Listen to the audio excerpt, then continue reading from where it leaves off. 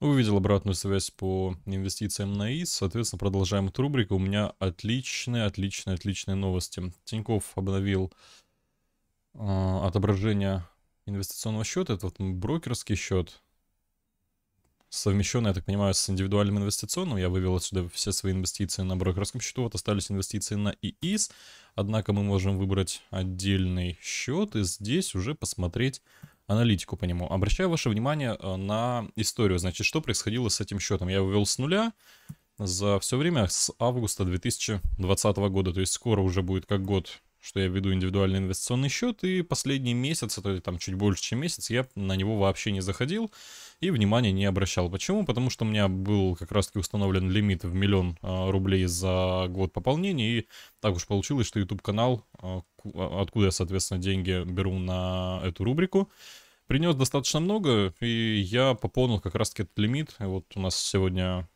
чуть больше, чем полгода прошло, и счет пополнен уже на максимум, что можно было себе представить. Я про него забыл благополучно и не трогал, не заходил. Э, посмотрите сюда теперь. Не трогал, не заходил, но за месяц доходность составила практически 200 тысяч рублей. Там еще пара доходов не ушла, тут буквально пару дней назад было 200 тысяч рублей, я в инстаграме это показывал. Соответственно, посмотрите, миллион пятьсот было месяц назад, сегодня миллион семьсот, даже чуть-чуть больше, чем 1 миллион семьсот тысяч рублей.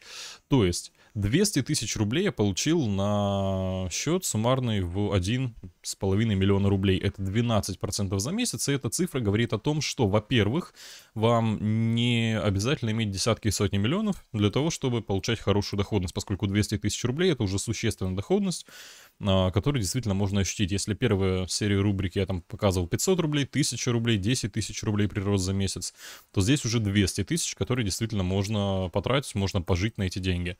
Соответственно, я, понятное дело, их не увожу, они у меня дальше крутятся, они у меня не зафиксированы, такая так называемая бумажная нереализованная прибыль.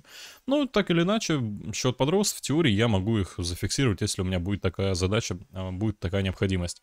А, можно посмотреть за полгода, я за полгода, видите, получил всего 324 тысячи, из которых большую часть именно 200 тысяч за последний месяц. Почему так? Потому что еще полгода назад у меня было всего 400 тысяч рублей, и то, что я получил 324 тысячи за это время, это сопоставимо со всем моим счетом того времени. То есть помним, что когда мы только начинаем инвестировать, разгоняем капитал, первое время капитал растет за счет наших пополнений. Дальше за счет сложного процента уже включается а, прирост на доходности.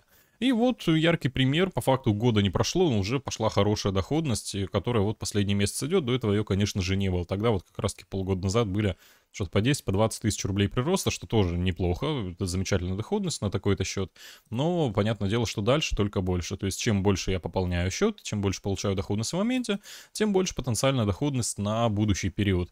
Но нужно закладывать периоды просадок, понятное дело, какое-то время будет, будут еще периоды, когда доходность будет отрицательная. А, про это я также записывал видео, про риски а, сложного процента можете найти на моем канале. Что я делаю сейчас?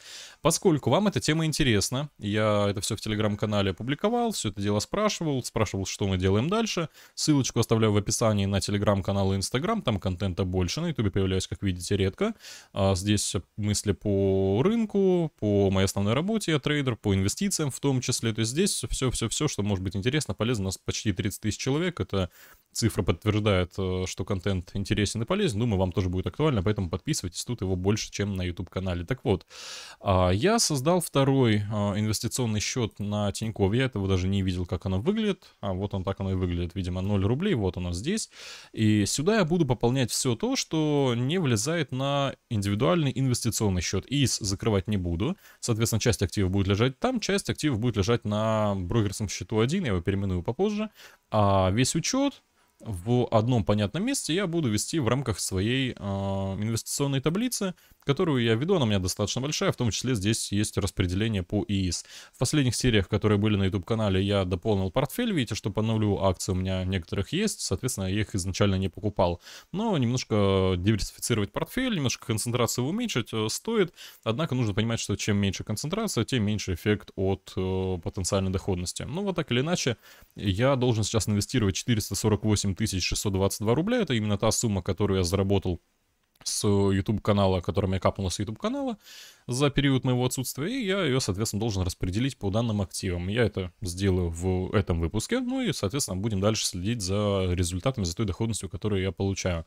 Понятное дело, что поскольку рынок сейчас находится достаточно высоко, он сейчас на историческом максимуме, я покупаю акции, активы дорого, ну и любая какая-то даже небольшая коррекция – ну, хотя 24% можно назвать небольшой коррекцией, наверное, будет достаточно сильное снижение, оно сильно скажется на моем счету, особенно учитывая, что у меня такая достаточно высокая концентрация активов перекупленных, активов перегретых, которые могут сильно упасть, но они быстро восстанавливаются, я про это тоже рассказывал, про это много видео есть на моем YouTube-канале. А, вот, соответственно, риски высокие, но так или иначе я буду только докупать активы, и, соответственно, на дистанции, на длительно инвестировать, эти, риски сводятся практически к нулю, даже если там будет 5-10 лет падения, 5-10 лет инвестирую, и, соответственно, соответственно, эти риски нивелируются. Учитывая, что я буду покупать активы на самом снижении, даже небольшие отскоки после этого мне уже доходность будут приносить, даже пока а, рынок находится в просадке. Это все тоже нужно учитывать. Перед тем, как продолжим подарок для новых подписчиков, мои давно этим пользуются ребята. Кто хочет открыть счет в Инвестициях, делайте это э, через ссылки в описании, или просто даже если не хотите счет открыть, можете воспользоваться этими подарками. А, получить их, ну а дальше уже на свое усмотрение делайте, что хотите. А, ссылочка внизу будет на заказ. Дебетовой карты, вам подарят 1000 рублей, ну вы карту заказываете, вам ее привозят. Буквально через день, вы 5000 рублей по ней тратите, в магазин идете, и 1000 рублей вам возвращают, 5000 вы так и так потратите, ну 1000 рублей подарком можете получить, если оставите заявочку за 5 минут, 1000 рублей заработаете, почему бы и нет. А также я в последних видео рассказывал, что еще а, для желающих есть ссылка на кредитную карту, там вам подарят аж 3000 рублей, кредитами я не пользуюсь, не говорю вам идти оформлять кредитки, все покупать в кредит, ни в коем случае нет. Это финансовая грамотность, понятное дело, сами там разбираетесь. Но если что, кредиткой можно пользоваться как дебетовой картой в том числе. А, ну, 3000 рублей так или иначе вам подарят. Для этого вам нужно будет потратить 10 тысяч по ней. Ну, в 10 тысяч вы также понятное дело, потратите так и так, вам привезут и дебетовую карту, и кредитную вместе, вам получается 4000 рублей подарят, почему бы и нет, я тоже с этого копейку получу, тут такая ситуация вин-вин получается, вот. Что касается инвестиций, давайте э, пополним счет и продолжим покупать активы для того, чтобы пополнить счет, я нажимаю кнопку пополнить счет, я в таком интерфейсе даже еще не работал ранее, а мне необходимо пополнить его на какую сумму, у меня здесь 6700 рублей на ИС вроде как завалялось, я должен на 441 800 898 рублей пополнить. 441 898, ну, давайте 99 рублей пополним.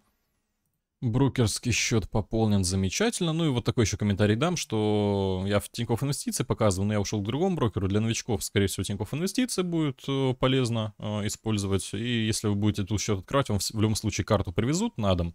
Это необходимое условие для того, чтобы здесь э, работать. Ну а так вот вы можете через ссылку заказать эту карту с бонусом. Почему бы и нет, как говорится. Все, заходим на брокерский счет номер один. У меня теперь оно разделено по двум счетам, и аналитика будет абсолютно разная, но а, я ее буду в совокупности считать здесь. А, напишите в комментариях, какую аналитику стоит сюда подкрутить. В частности, я думаю, размер капитала.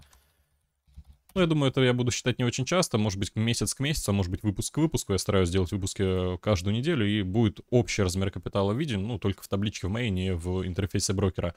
Размер капитала, что еще можно посчитать, э, какие есть варианты, напишите об этом в комментариях, будет интересно. Ну, я, соответственно, это реализую, сюда тоже внесу, будет интересно всем. А, по целям, значит, первая цель была 10 миллионов на счету, она выполнена была на 17%, сейчас она будет чуть-чуть побольше выполнена, поскольку я активов куплю еще, и 1 миллион рублей доходности. Доходностью я получил по таблице 322 тысячи рублей, из которых 200 тысяч за последний месяц капнуло, что интересно. Ну вот и 1 миллион рублей доходности уже на 32% выполнен почти что миллион пассивно с нуля заработал. Обращаю внимание, что в принципе вот эта сумма, которую я сейчас э, наблюдаю, она с нуля пассивно, можно сказать, заработана, потому что я и так, и так видео на YouTube снимал, но подключил монетизацию, мне там стали капать э, денежки, я вот снимаю видео, как инвестирую, мне с этого что-то капает, я это повторно инвестирую. То есть эта сумма уже для меня как пассивный доход идет, считайте, а еще и на нее капает пассивный доход, то есть я как бы уже сложный процент получаю, выходит. Отличная такая ситуация, вин-вин. А, где вы смотрите контент, а я с этого деньги инвестирую. А, счет пополнен, у меня находится в рублях. Давайте купим доллар. На доллар мы, соответственно, будем покупать акции USD. Ну, видимо, тут не так написать. Доллар. Я через этот интерфейс обычно не инвестирую. Доллар США нам необходим. Нажимаем кнопочку «Купить», видим, что я его постоянно покупаю. Я, когда даже активы завожу к иностранному брокеру, я в любом случае покупаю доллары через Тинькофф, по этой причине тут много достаточно этих точек видно, потом доллары я просто SWIFT переводом перевожу. Нажимаем «Купить», куда? Брокерский счет 1 с брокерского счета 1 по лучшей цене. Мне в целом не принципиально. Нажимаем на всю сумму. Комиссия 110 рублей. Окей, покупаем видим успешную покупку, нам теперь необходимо будет зайти в портфель и посмотреть, по какой цене этот доллар был куплен. Нужно события нажать. И в событиях вижу вот такую штуку. Кстати, очень часто у меня была такая проблема раньше. Я решил, кстати, не так давно. Я приблизительно все в таблице считал, но по факту нужно считать средневзвешенный а, курс покупки доллара. А, делается это просто через э, среднюю взвешенную в таблицах. Раньше я этого не делал. Вот так, давайте я сейчас занесу сюда информацию о покупке доллара по этой цене, я, соответственно, буду вбивать э, данные в таблицу. Не буду вас э, нагружать, это я сделаю уже после видео, сейчас я просто куплю активов.